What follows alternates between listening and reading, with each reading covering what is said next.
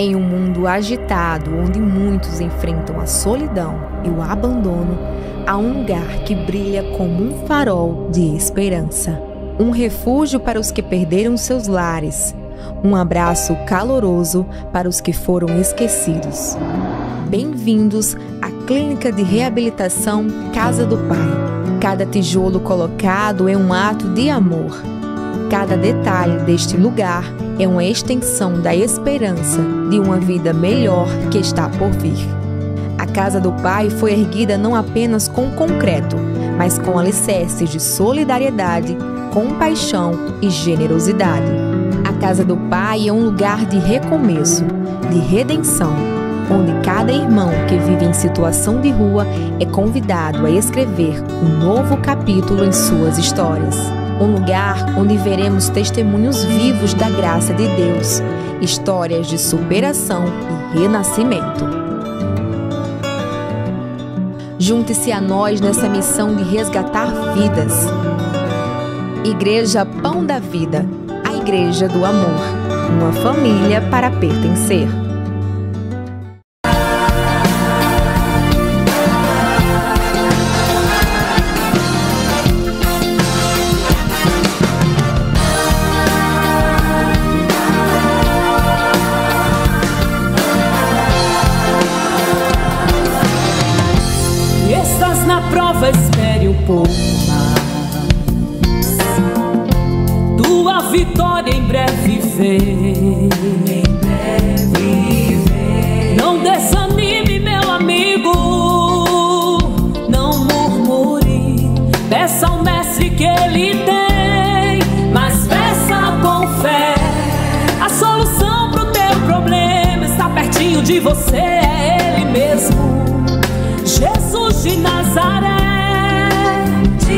Eita Jesus de Nazaré, bom dia, povo de Deus. Deus abençoe a sua família, Deus abençoe a sua vida, a sua saúde. Bom dia, meu amor. Bom dia, meu amor. Bom dia, meu pastor. Bom dia, família Pão da Vida. Bom dia, nossas ovelhinhas do Senhor, amadas, as de perto e as distantes. Nós estamos aqui mais uma vez, grato ao Senhor por permitir mais um dia de vida é, sim. dom da vida que nos Deus nos dá todos os dias. E nós já agradecemos também por você abrir sua porta, onde você estiver. É, Neste momento, é. É, compartilhe e agradeça ao Senhor por mais um ano de vida, por mais um dia de vida. Quantas pessoas já amanheceu o dia dizendo: Cadê meu Deus? É. Deus está em silêncio comigo. Quantas pessoas já estão com o coração triste? Triste porque perdeu um ente querido, mas nós devemos se alegrar que quando Deus recolhe a gente não perde, e sim o nosso Deus ganha, está juntando até a volta dele. É sim. Para que nós sejamos ainda encontrarmos na Nova Jerusalém, né, pastor? É sim. Um dia abençoado em nome de Jesus para cada, Jesus. Um de, cada um de nós. Muito bem, amados queridos, nós vamos falar hoje. A pastora falou isso aí, ficou encaixou bem certinho com o nosso tema de hoje. A vida? É, o nosso tema de hoje é Não tenha dúvidas, Deus está contigo. Aleluia. Porque como a pastora mesmo disse, tem dia que você pensa que Deus não está com você, Deus não está te ouvindo, Deus não está escutando as suas orações, e não é isso a verdade. Tenha certeza que Deus não nos abandona em nenhum instante. É sim. E nós vamos falar sobre isso hoje. Deus está presente. Nada nos transmite mais segurança, mais tranquilidade do que saber que Ele está presente. Aleluia. Nós não temos noção de como Deus está presente em nossas vidas. Nos confrontos da vida, nas lutas da vida, Deus está sempre por perto. E Deus sempre, quando Ele tem um chamado para que você seja uma pessoa dele e Ele acolhe você no seio dele, Ele te fortalece. Nós vemos aqui no livro de Josué, no capítulo 1, no versículo 9, leia, amor. Não fui eu que ordenei a você? Seja forte e corajoso.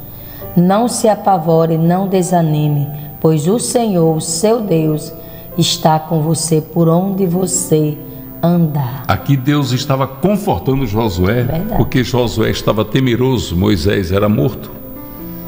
E Josué estava com medo de liderar aquela grande nação e enfrentar, meu Deus, centenas de inimigos que tinha pela frente. E quando eu falo centenas, não era só centenas de soldados, era centenas de reis e seus exércitos. Veja aqui em Isaías 41, 10. Por isso não tema, pois estou com você. Não tenha medo, pois sou o seu Deus. Eu o fortalecerei e o ajudarei, e o segurarei com a minha mão direita vitoriosa. Em Aleluia. todos os livros da Bíblia nós vamos encontrar Deus nos dando coragem para não Aleluia. desistirmos. E veja no Novo Testamento Jesus Cristo falando em Mateus 28, 20. Ensina-nos a obedecer a tudo que eu ordenei a vocês, e eu estarei sempre com vocês até o fim dos tempos. Pronto. Aqui de Jesus falou sobre obediência a Deus, é o único pré-requisito para termos a presença dele, a direção dele em nossas vidas. E uma das coisas que atrapalha muito na vida é o amor que as pessoas têm ao dinheiro. Muitas vezes, muitas pessoas pedem a Deus dinheiro, riqueza, pede posses. E a palavra de Deus diz: vocês oram e não sabem o que pedir. Verdade. Porque do que é que adianta dinheiro se você não tem sabedoria? Do que adianta dinheiro se esse dinheiro vai distanciar você de Deus? Então muitas vezes você está pedindo riqueza a Deus e Deus não vai te dar, porque as condições que esse dinheiro vai lhe proporcionar pode esfriar a sua fé e tornar você um cubo de gelo, aquele crente frio demais. Hebreus 13, 5. Conserve-se livres do amor ao dinheiro e contente-se com o que você tem, porque Deus mesmo disse: Nunca o deixarei, nunca o abandonarei. Meu Aleluia. Deus, que coisa linda. É nunca. Jesus falou em Mateus dizendo assim: Buscai o reino de Deus e a sua justiça, e as demais coisas vos serão acrescentadas. Ele estava dizendo: quando você busca Deus, Deus lhe abençoa, Deus concede aquilo que você deseja. Veja, por exemplo, o Salmo 37, versículo 4. Deleita-te no Senhor e Ele concederá o que deseja do seu coração. Sinta prazer em viver para Deus e Deus vai, vai abençoar você naquilo que você deseja. Mas essa palavra de hoje é para dizer a você que Deus está dizendo a você que está ouvindo agora esta oração, esta mensagem, para você nunca colocar dúvidas em seu coração da presença de Deus em sua vida. Veja Deuteronômio 31:6. Sejam fortes e corajosos. Não tenha medo, nem fique apavorado por causa delas, pois o Senhor, seu Deus, vai com vocês, nunca o deixará, nunca o abandonará. Você vê que Deus confirma, né, irmão? Eu não vou te deixar, não vou te abandonar. Eu estarei com você por onde você for. Ele está dizendo: Eu sou o teu Deus, eu cuido de você, eu estou com você aonde você andar. Veja que declaração de amor de Deus em Romanos 8, 38 e 39, nós vamos ler porque nós amamos essa palavra. É forte, pois estou convencido de que nem morte, nem vida, nem anjos, nem demônios, Aleluia. nem o presente, nem o futuro, nem quaisquer poderes, nem altura, nem profundidade, nem qualquer outra coisa na criação será capaz de nos separar do amor de Deus que está em Cristo Jesus, nosso Senhor. Que lindo, hein? Forte. Deus dizendo assim: olha, nada tira a minha presença da sua vida e você da Aleluia. minha presença. Verdade. Nada, nada, não existe nada. Não há nada nesse mundo que possa dizer assim: vou te afastar de Deus, a não ser quando nós mesmos queremos ficar distante dele. Verdade. Por que isso, hein, pastor? Porque nós somos santuários de Deus. A palavra de Deus diz que Deus chegou a um determinado momento que ele disse: Não mais habitarei em templos feitos pelas mãos dos homens. Ele estava dizendo: Agora eu vou morar dentro de vocês. 1 Coríntios 3,16. Vocês não sabem que são o santuário de Deus e que o Espírito de Deus habita em vocês? Você quer uma proximidade maior do que essa? Aleluia. Deus vem morar aqui dentro. O Espírito Santo vem morar aqui dentro. Aleluia. Que relacionamento mais íntimo, que coisa mais bonita. É como se Jesus Cristo, com toda a declaração de amor da cruz, aquele amor exagerado, ele tivesse praticamente dizendo assim: olhe, eu quero estar na sua vida, eu quero abençoar a sua vida. Não feche a porta para mim, porque eu quero entrar e participar da sua vida. Hoje Deus está dizendo para você: abra a porta da sua vida, do seu coração, me deixe entrar, me deixe mudar a sua vida, me deixe dirigir a sua vida, para você ver o que é que eu vou fazer. Aleluia. Apocalipse capítulo 3, versículo 20. Eis que estou à porta e bato. Se alguém ouvir a minha voz e abrir a porta, entrarei e cearei com ele e ele comigo. E aqui, Aleluia. Jesus falando aqui, ele está falando de uma intimidade muito grande, eu sempre digo isso para a igreja, que é cearei com ele. O que é cear? É comer. É você almoçar, jantar, tomar café. Porque no costume judaico, uma pessoa para sentar-se na mesa de um judeu, ah, é difícil. Ele tem que saber quem é. Ele tem que ter plena confiança. Ele tem que saber realmente se aquela pessoa merece Aleluia. adentrar a casa dele e sentar-se à mesa dele. Aleluia. Por isso que Jesus está dizendo: Eu cearei contigo e você comigo. Ele está dizendo: se você deixar eu entrar na sua vida, eu terei intimidade, terei comunhão com você. E ele ainda diz mais: e você sairá comigo e achará pastagens.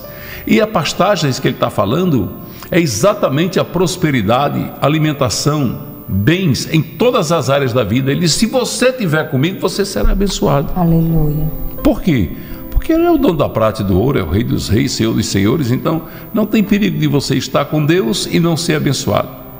Essa que é a grande verdade. Verdade. Junto com o chamado de Deus, sempre vem a proteção de Deus. Às vezes existem pessoas que dizem, nossa, na minha família só eu sou crente, como é difícil e tal.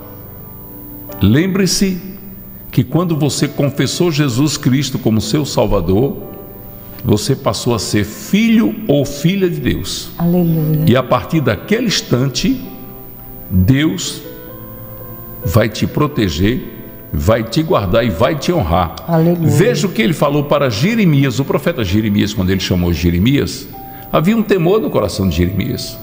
Jeremias se sentia tão pequeno que ele disse: Senhor, eu sou uma criança. Ele estava dizendo: o Senhor está chamando uma pessoa fraquinha, mas olha o que Deus disse para ele em Jeremias 15, 20.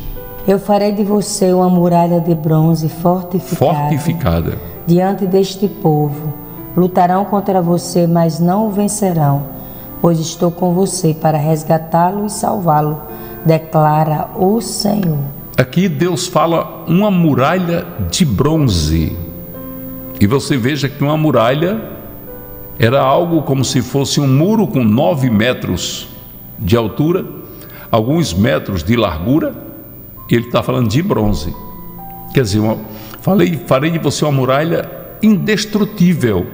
Eles podem lutar contra você, mas não vão te vencer. Era isso que Deus estava dizendo. Então, o que é que Deus quer? Quer nos fazer fortes para enfrentar todos os problemas da vida. Mas Ele quer que nós tenhamos fé de que Ele está conosco e Ele vai nos firmar na rocha verdadeira que é Jesus Cristo. Veja uma casa bem construída. Uma casa bem construída, vem o vento, vem a tempestade, vem a enchente e não consegue derrubá-la. Aleluia. Por isso que ele está falando de alicerce. Quando você tem Deus na sua vida, você está alicerçado em Jesus Cristo, que é a rocha verdadeira. Aleluia. Veja o que está escrito em Efésios capítulo 3, versículo 17. Para que Cristo habite no coração de vocês mediante a fé. E oro para que, estando arregado, Arragados. arregados e alicerçado em amor. Ele está falando que vocês estejam firmados. Aqui o apóstolo Paulo estava falando para os irmãos de Éfeso que vocês estejam firmados nele, em Cristo. Se nós estamos firmados em Cristo, ninguém pode destruir a nossa fé, ninguém pode nos tirar da presença de Deus. Deus sempre fortaleceu o seu povo, em todos os tempos, em todos os instantes. Deus sempre encorajou. Deus não manda você fugir da luta. Aleluia. Deus manda você enfrentar a luta. É verdade. Ele dá estratégia, como você vai fazer para vencer. Mas ele não diz corra, fuja, se esconda. Não. Ele diz: vá, e eu sou contigo. Veja Josué capítulo 1, versículos 5, 6. Ninguém conseguirá resistir a você todos os dias da sua vida. Presta atenção. Assim como estive com Moisés, estarei com você. Nunca o deixarei, nunca o abandonarei. Seja forte e corajoso, porque você conduzirá este povo para herdar a terra que prometi sob juramento aos seus antepassados. Aqui Deus está falando de Aleluia. cumprimento de promessa, está falando que ninguém vai destruir você. Seja forte, porque assim como fui com Moisés, serei contigo. Isso aqui não serve só para Josué, não, serve para todos nós. Todos nós. É Deus dizendo: Eu sou imutável. Quem é que pode me mudar? Quem pode mudar Deus? Deus diz na palavra dele: Agindo eu, quem impedirá? Então receba essa palavra hoje no seu coração com muita alegria Aleluia. e com a certeza de que o nosso Deus está no controle da sua vida. Você que tem passado lutas, lembre-se que Deus está no controle das nossas vidas. Veja 2 Samuel 22, 30. Contigo posso avançar contra uma tropa, com o meu Deus posso transpor muralha. Oh, glória a Deus! Com Deus podemos Aleluia. transpor muralhas e enfrentar uma Louvado tropa. seja o teu nome. A palavra de Deus diz que maior que está conosco do que aquele que está com o mundo. Com eles está o braço de carne, conosco está o braço forte e o forte. Aleluia. Meu amado irmão, minha querida irmã, não, não desista dos seus sonhos. Não perca a sua fé. Aleluia. O nosso Deus, ele tem propósitos lindos em nossas vidas. E pode ter certeza, você não está só. Aleluia. Você não está só, você não estará só. Deus não te abandonará, Deus nunca deixará você sozinho. Porque Deus ele tem compromissos com aqueles que ele ama Verdade. e ele ama você. Vamos orar? E nesta oração nós vamos falar com Deus, dizendo a Deus que nós cremos. Eu creio, Jesus. Vamos dizer para Deus que nós cremos. Em nome de Jesus. Vamos dizer para Ele, Pai Santo, Deus amado, Deus querido, nós cremos no Teu amor, Sim, Deus. nós cremos, Deus, na Tua fidelidade, É, Pai. Nós cremos, Deus, no que está escrito na Tua santa palavra. Sim. E queremos, Deus, pedir perdão porque às vezes fraquejamos, porque às vezes, Senhor, É, a nossa fé é pequena, Pai. Sim, Jesus. Mas, Pai, nós sabemos da, da grandeza do Teu poder, É, Pai. da Tua fidelidade para com todos, Deus, que trilha os caminhos da vida com o Senhor. Deus, nós pedimos que o Senhor abençoe todos que estão conosco nesta oração da manhã. Sim. Que o Senhor dê a certeza, Senhor, da tua presença, porque Deus, a tua graça nos basta e o teu poder, meu Deus, se aperfeiçoa na nossa fraqueza, Pai. Ah, Deus, nós sabemos e o Senhor sabe também o quanto nós te amamos e como nós somos dependentes de ti, meu Deus. Guarda cada um de nós debaixo da tua santa e maravilhosa proteção. Guarda-nos, Deus. Livra-nos, Deus de todo perigo, de toda maldade, de toda enfermidade. Pai, nós queremos pedir nesta oração que o Senhor abra as portas para abençoar aqueles Sim. que estão desempregados, tristes, abatidos, desiludidos, que o Senhor possa abençoá-los, Deus, de uma maneira tremenda e poderosa. É, Pai. Abençoa a mãe de família, o pai de família que está, Senhor, sofrendo com o que está acontecendo com seus filhos. Sim, Deus. Porque, Deus, o teu poder é absoluto e todos sabem disso, Pai. Por isso, Paizinho, estende a tua mão abençoando cada família que nos acompanha. Em nome de Jesus. Cada um, Senhor, que é pão da vida à distância, de perto, Aleluia. faz parte desta família pão da Sim, meu vida. Deus. Abençoa, Deus, nossos dizimistas, Abençoa, nossos ofertantes. Abençoa, Deus, teus filhos e filhas que, com amor no coração, nos ajuda, Deus, a fazer a tua obra. Meu Deus, Senhor. Os recompensa, Pai, poderosamente, com milagre da multiplicação, com saúde. Deus, com longevidade, É. com prosperidade, Pai. Abençoa os que Abençoa, desejam abençoar Senhor. esta obra. Abençoa os que têm votos e propósitos atendendo a seus pedidos. Abençoa, meu Pai, os que oram por esta obra porque entendem É, que esta Paizinho. obra é uma obra que nasceu em teu coração. Abençoa, Paizinho. Abençoa, Deus. Abençoa, Senhor. Nome A de saúde, a vida em todas as áreas. É o que nós te pedimos, Paizinho. E te agradecemos. No santo e poderoso nome de Jesus Cristo. Amém. Amém. Amém, Paizinho. Deus é fiel. Essa é a mais pura verdade. Aleluia, E Ele está contigo. Aleluia. Escute, Onde Deus está estiver. contigo. Onde você estiver. É. Nosso coraçãozinho, amor. Cheio do amor de Deus. Cheio do amor de Deus por vocês. Deus abençoe, viu? Fiquem na, paz, paz, Deus abençoe poderosamente a todos. Inscreva-se aqui no canal, dê o seu like, compartilha de graça. Ninguém paga nada e vocês ajudam a obra de Deus a crescer e será recompensado por isso. Em nome de Jesus. Fiquem na paz. Beijo nas nossas ovelhinhas queridas. Deus abençoe em nome de Jesus.